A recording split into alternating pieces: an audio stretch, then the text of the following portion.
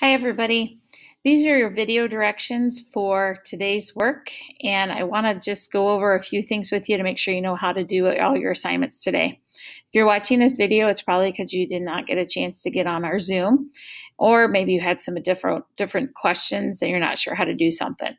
So you have already gotten probably into Google Classroom, you found today's date, and you've already clicked on assignment one because that's how you got to this video. Make sure after you finish watching the video that you click on the words view assignment and mark this assignment as done so that you get credit of actually watching the video and or attending the Zoom meeting. Now, the second assignment is pretty simple as well. All I'm asking you to do is to go back and take a look at the work from Monday. I want you to make sure that all four of your circles are grayed out. Notice I have two that are not that means that I did not turn those in. So when I click on this assignment and I go to view assignment, it's going to say missing. And if you did turn it in, you're going to see a score up here. But if you didn't turn it in, this is now the time where you need to go ahead and mark this assignment as done because you did attend the meeting or hopefully you did watch the directions so you know what you're doing. All right, so that took care of that problem. Now, assignments two and three, some of you may have circles grayed out, but that could mean that you did not do it right yet. So the only way to find that out is to click on the assignment and go to view assignment.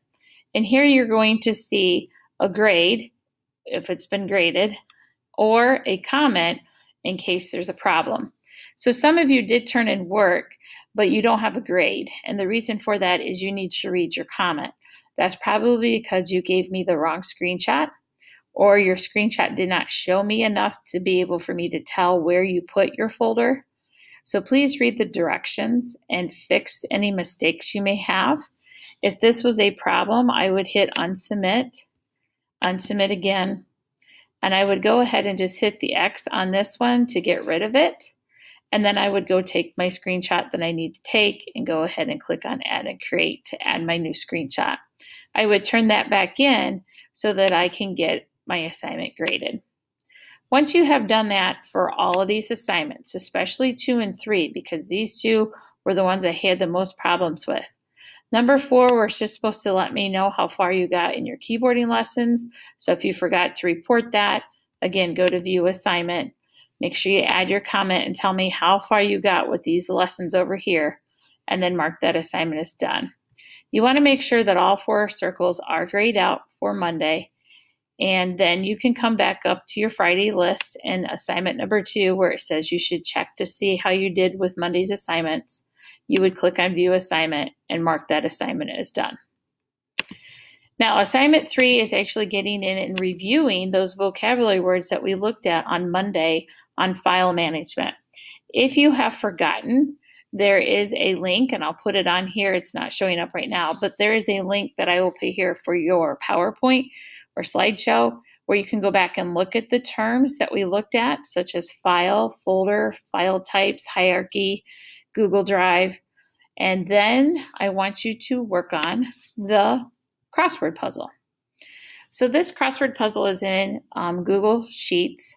And how this is going to work, it takes a little bit to load. You will see that the white boxes are the boxes that you're going to fill in. Over here is a word bank. These are your answer choices.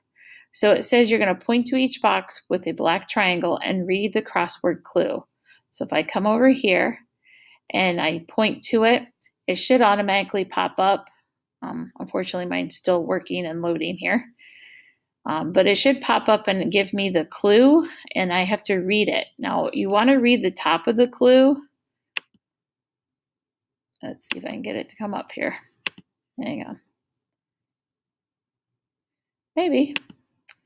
Let's see. Let me try this one over here. For some reason, not working today. Let's try it again. There it goes. So if you just point to it, it'll say three down. So that means it's the word that's going down. And it says all of your files are saved in Google. And then you want to look at your word choices. And then you would just simply click in the box and type whatever letter it is you want to put in there. So if I type a G, it types the G in there. Okay. Once you have that all done, you will then go ahead and go back to this assignment, go to view assignment and mark it as done. This is a way for me to see if you understand those vocabulary words. The rest of the time, you're going to work on your keyboarding lessons. And the lessons we're working on are finishing up G and H, which are lessons 22 and 23. I had assigned 24, but I'm not going to worry about that anymore. Just try to get 22 and 23 done. If those are done, you're going to start some new lessons today, and those are the letters O and V. So your L finger is going to reach up to O. So right hand ring finger, L to O. And then the V is with your um, left hand pointer finger reaching down, F to V. And those two lessons are lessons 25 and 26.